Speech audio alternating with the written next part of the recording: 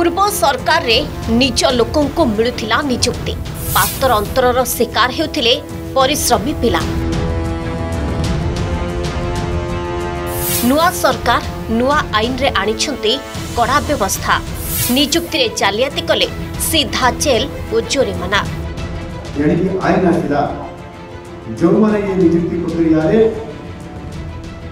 ସାଧୁତା ଆଉ ସଚ୍ଚୋଟତାରେ ଯଦି ସେମାନେ ଟିକିଏ ବି ଯଦି ଏଠି ଭୁଲ କରି ବସିବେ ଅନିୟମିତତା କରିବେ ତାହେଲେ ତାଙ୍କୁ ଏକ କୋଟି ଜରିମାନା ସହିତ ଦଶ ବର୍ଷ ପର୍ଯ୍ୟନ୍ତ ଦଣ୍ଡ ଦେବାର ବ୍ୟବସ୍ଥା ଆମ ସରକାର କରିଛନ୍ତି ମୁଖ୍ୟମନ୍ତ୍ରୀଙ୍କ ବକ୍ତବ୍ୟ ସୃଷ୍ଟି କରିଛି କମ୍ପନ ଯେଉଁମାନେ ଜାଲିଆତି କରିଛନ୍ତି ହେବ କି ତଦନ୍ତ? ହେବ କି କାର୍ଯ୍ୟାନୁଷ୍ଠାନ? କେଉଁ କେଉଁ ବାବୁ ଓ ନେତା ନିଯୁକ୍ତି ଘୋଟାଲାର ଖଳନାୟକ? ସାମ୍ନାକୁ ଆସିବ କି ସେମାନଙ୍କ ଚେହେରା? ଦୀର୍ଘ ବର୍ଷ ହେବ ଖାଲି ପଡ଼ିଥିଲା ଦେଢ଼ ଲକ୍ଷ ସରକାରୀ ପଦବୀ। କାଁ ଭାଁ ନିଯୁକ୍ତି କରୁଥିଲେ ପୂର୍ବ ବିଜେଡି ସରକାର ତା ପୁଣି ପାଖ ଲୋକଙ୍କୁ। ନଚେତ ଲକ୍ଷାଧିକ ଟଙ୍କାରେ ବିକ୍ରି ହେଉଥିଲା ସରକାରୀ ଚାକିରି। ନୂଆ ସରକାରର ସ୍ୱଚ୍ଛତାର ସହ ଛଅ ମାସ ଭିତରେ ଛଅଟି ନିଯୁକ୍ତି ମେଳାରେ କୋଡ଼ିଏ ହଜାରରୁ ଅଧିକ ପିଲାଙ୍କୁ ନିଯୁକ୍ତି ଦେଇଛନ୍ତି। ନିଯୁକ୍ତି ପରୀକ୍ଷାରେ ସ୍ୱଚ୍ଛତା ଆଣିବାକୁ ନୂଆ ଆଇନ ପାରିତ କରିଛନ୍ତି।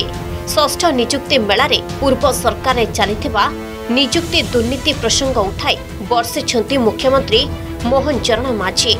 ନିଯୁକ୍ତି ପରୀକ୍ଷାରେ ଜାଲିଆତି କଲେ ଜେଲ୍ ଯିବାକୁ ପ୍ରସ୍ତୁତ ରୁହନ୍ତୁ ବୋଲି ଚେତାଇ ଦେଇଛନ୍ତି ମୁଖ୍ୟମନ୍ତ୍ରୀ। ଅତୀତରେ ବା ଗତ ସରକାର ମାନଙ୍କରେ ଦୁର୍ନୀତି ଭର୍ତ୍ତି ହେଇକରି ରହିଥିଲା ଆତ୍ମ ନିଯୁକ୍ତି ପ୍ରକ୍ରିୟାରେ।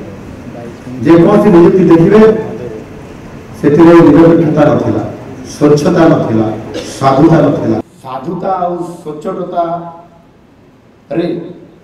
ଯଦି ସେମାନେ ଟିକିଏ ବି ଯଦି ଏଠି ଭୁଲ କରି ବସିବେ ଅନିୟମିତତା କରିବେ ତାହେଲେ ତାଙ୍କୁ ଏକ କୋଟି ଜରିମାନା ସହିତ ଦଶ ବର୍ଷ ପର୍ଯ୍ୟନ୍ତ ଦଣ୍ଡ ଦେବାର ବ୍ୟବସ୍ଥା ଆମ ସରକାର କରିଛନ୍ତି।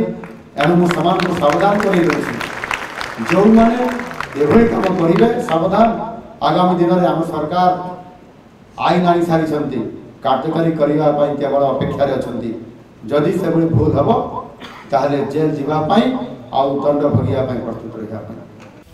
ନଜର ପକାନ୍ତୁ ନିଯୁକ୍ତି ଦୁର୍ନୀତି ଓ ପରୀକ୍ଷାରେ ସ୍ୱଚ୍ଛତା ରଖିବାକୁ ଆସିଥିବା ନୂଆ ଆଇନ କ'ଣ ଏବଂ କେମିତି ଏହା କାମ କରିବ?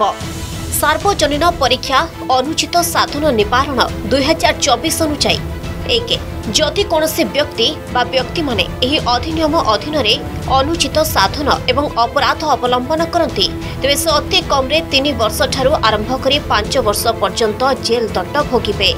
ଏହା ସହ ଦଶ ଲକ୍ଷ ଟଙ୍କା ପର୍ଯ୍ୟନ୍ତ ଜୋରିମାନା ବି ଦେବେ। ଜୋରିମାନା ଖିଲାପ କଲେ ଅତିରିକ୍ତ ଜେଲ୍ ଦଣ୍ଡ ମିଳିବ। ଦୁଇ ସେବା ଯୋଗାଣକାରୀ ମଧ୍ୟ ଏକ କୋଟି ଟଙ୍କା ପର୍ଯ୍ୟନ୍ତ ଜୋରିମାନାରେ ଦଣ୍ଡିତ ହେବେ।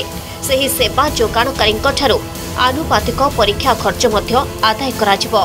ସମ୍ପୃକ୍ତ ସଂସ୍ଥାକୁ ଚାରି ବର୍ଷ ପର୍ଯ୍ୟନ୍ତ କୌଣସି ସାର୍ବଜନୀନ ପରୀକ୍ଷା ସଞ୍ଚାଳନ ପାଇଁ ଦାୟିତ୍ୱ ଦିଆଯିବନି। ତିନି ଯଦି କୌଣସି ଅନୁଷ୍ଠାନ ସଂଗଠିତ ଅପରାଧ କରିପାରେ ସମ୍ପୃକ୍ତ ଥିବ ତାହେଲେ ତାର ସମ୍ପତ୍ତି ଜବତ କରାଯିବ ଓ ବାଜ୍ୟାପ୍ତ କରାଯିବ ଏବଂ ସେଥିରୁ ଆନୁପାତିକ ପରୀକ୍ଷା ଖର୍ଚ୍ଚ ଆଦାୟ କରାଯିବ। ଶୁଣନ୍ତୁ ଏନେଇ କ'ଣ କହୁଛି ବିଜେଡି? ପୂର୍ବ ସରକାର ସମୟରେ ନିଯୁକ୍ତିରେ ପାତର ଅନ୍ତର ହେଉଥିଲା ଦୁର୍ନୀତି ହେଉଥିଲା ପକ୍ଷପାତ ହେଉଥିଲା। ଗଣମାଧ୍ୟମରୁ ମୁଁ ଏହା ଜାଣିବାକୁ ପାଇଲି। ମୁଁ ଏ ପରିପ୍ରେକ୍ଷୀରେ ମାନ୍ୟବର ମୁଖ୍ୟମନ୍ତ୍ରୀ କି ଜଣାଇବାକୁ ଚାହେଁ ଯେ ମାନ୍ୟବର ମୁଖ୍ୟମନ୍ତ୍ରୀ ବର୍ତ୍ତମାନ ଓଡ଼ିଶାର ମୁଖ୍ୟମନ୍ତ୍ରୀ। ତାଙ୍କ ପାଖରେ ସମସ୍ତ ତଦନ୍ତ ଅନୁଷ୍ଠାନ ଅଛି। ସେ ତଦନ୍ତ କରୁନାହାନ୍ତି କାହିଁକି? ନିଯୁକ୍ତି ମେଳାରେ ନବନିଯୁକ୍ତି ଅଧିକାରୀ ମାନଙ୍କୁ ମୁଖ୍ୟମନ୍ତ୍ରୀ କହିଥିଲେ ଲୋକଙ୍କ ସେବା କରିବା ସମସ୍ତଙ୍କ ଭାଗ୍ୟରେ ନଥାଏ।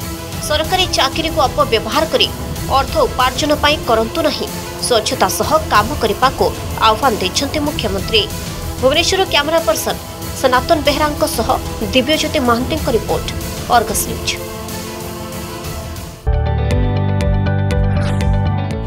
जदि आपंक आम भिडी भल लगा तेब आम चैनल को लाइक शेयर और सब्सक्राइब करने को जमा भी बुलां नहीं